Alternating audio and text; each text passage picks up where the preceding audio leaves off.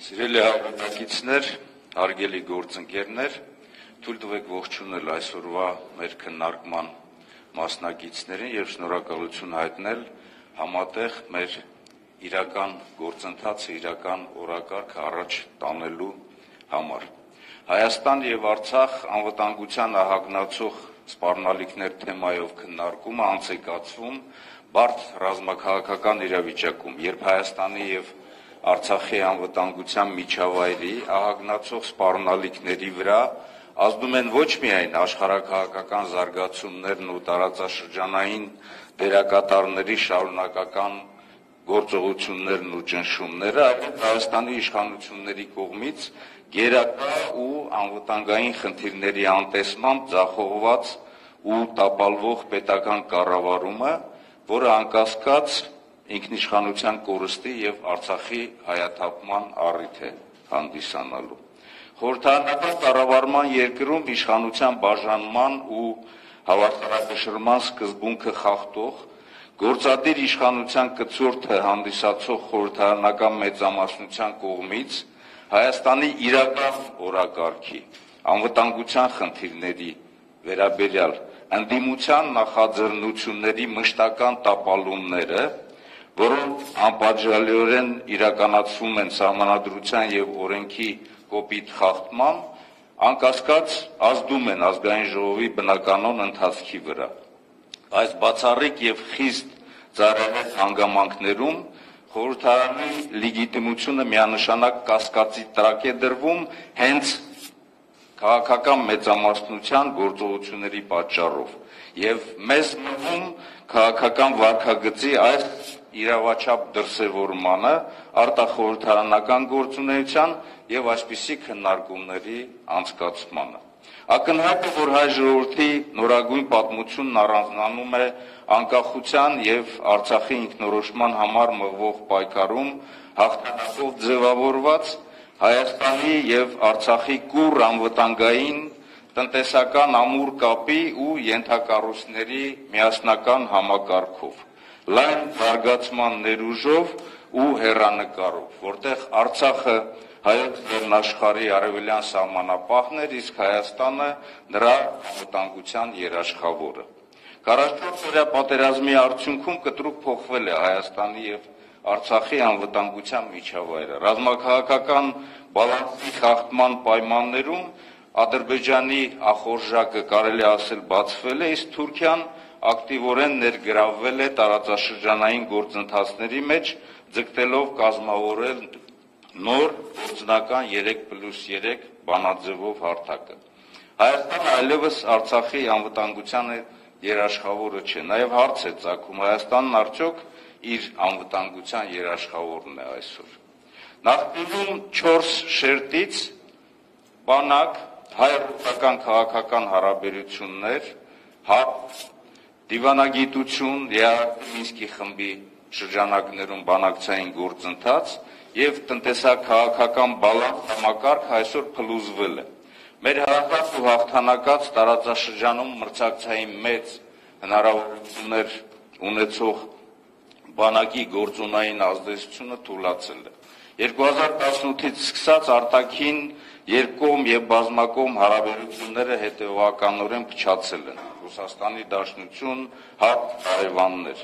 Դիվանագիտությունը խարտառակ ձախողումներ է արձանագրել, անտեսելով ձեր կորված հսկայական բանակցային ներուժը, փակուղի մցրել գործընթացն ու հնարավորություն տվել ճշնամուն դիմել ռազմական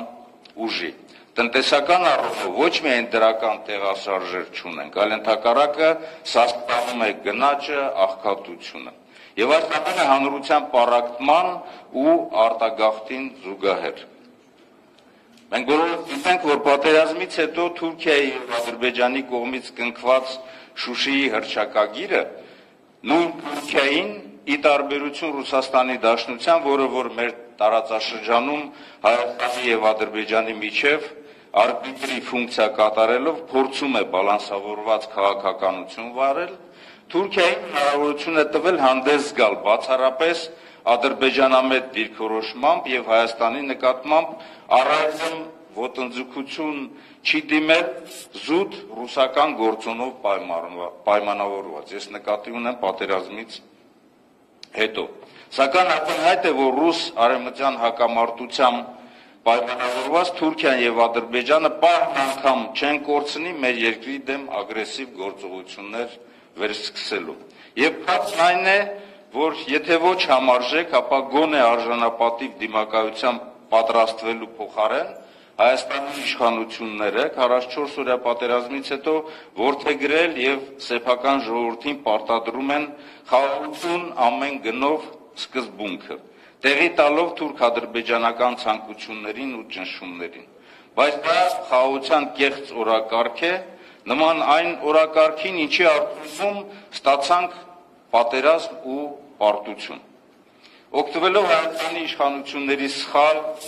զիջողական ու տարերային արտաքին քաղաքականությունից Թուրքիան շահկապել է հայ-թուրքական ու հայ-ադրբեջանական հարաբերությունները ու դրել պայման, որ միայն Ադրբեջանի պահանջները բավարարելուց հետո է հնարավոր հայ-թուրքական հարաբերությունների կարգավորումը եւ պետք է կուր լինել ու չտեսնել, որ իրականում Ադրբեջանի պահանջները հետեւյալ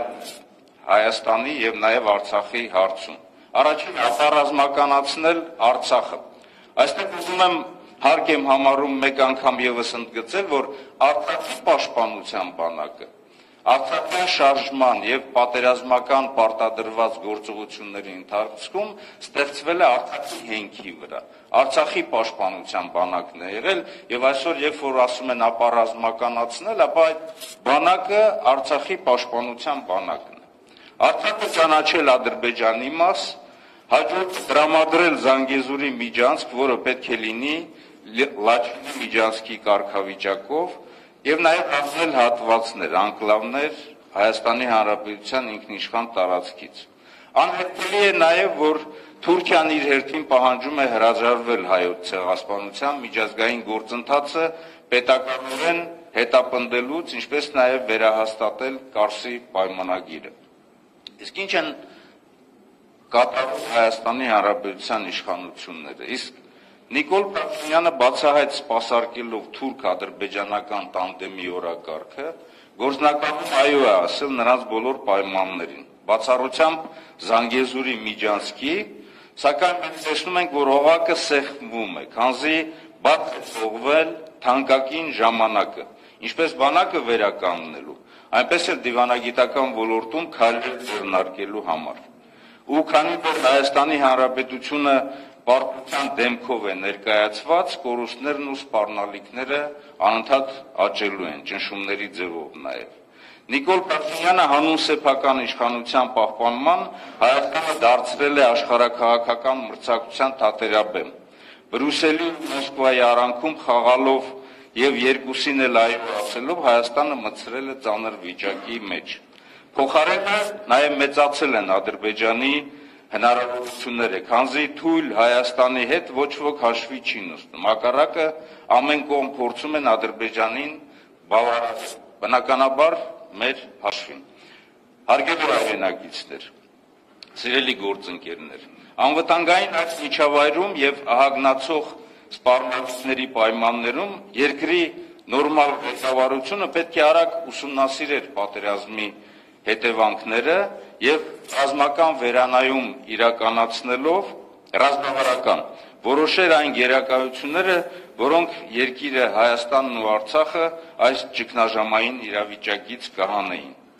Ինչպես տեսնում ենք, իրենք հանգիստ նստած իրենց աշխատասենյակներում վայելում են իրենց առօրյան եւ ապարքեվաճառները։ Մենք գտնում ենք, որ հայկական կողմի համար իրավիճակը շտկելու կարևոր նախապայման է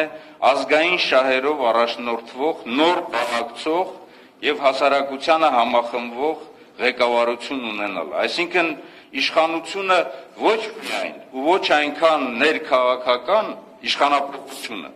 որքան անվտանգային հարց է։ Եվ այստեղ է, որ կարող ենք ասել, որ պարտված իշխանությունը հերացնելով հնարավոր է բեկել անկումների եւ զիջումների կործանարար ընթացքը։ Հայաստանի եւ Արցախի անվտանգության երաշխիքը կեղծ խաղաղություն օրակարգը չէ, որովհետև խաղաղությունը անվտանգության հիմնարար արժեք է։ Ազգային ու միջազգային երաշխիքների խելացի համադրմամբ ձևավորված արդյունք։ Եվ հենց ազգային ու միջազգային անվտանգային երաշխիքների ձևավորմանը պետք է ուղղված լինեն բոլոր այն խնդիրները, որոնց մասին հիմա ես կասեմ։ Բանակի վերակառուցումը, պաշտպանության ամրապնդմամբ, լայն ընդգրկվածություն ունեցող դիվանագիտական աշխատանքը, հայ-ռուսական հարաբերությունների որակապես նոր մակարդակի ապահովումը, հատկապես Արցախում խաղապահ ստորաբաժանումների դերի եւ հերանեկարների որոշմամբ տնտեսական զարգացման համար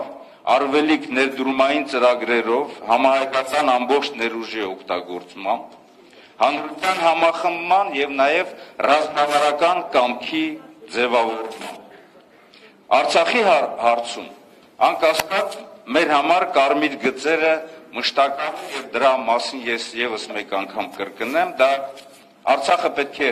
ինքնորոշվի անկլավային վիճակը անթույլատրելի է լայն կապ պետք է ունենա Մայր Հայաստանի հետ։ Հայաստանն է Արցախի անվտանգության երաշխավորը եւ Արցախի հարցը չի կարող լուծվել երկկողմ ֆորմատով։ Պետք է